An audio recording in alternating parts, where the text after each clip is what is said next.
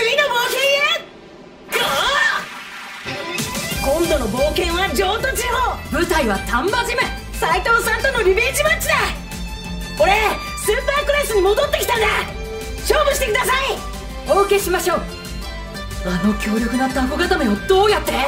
まあ見てろって次回「ポケットモンスター」サトス対斎藤。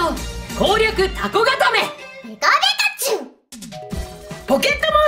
スター。ご覧のスポンサーの提供でお送り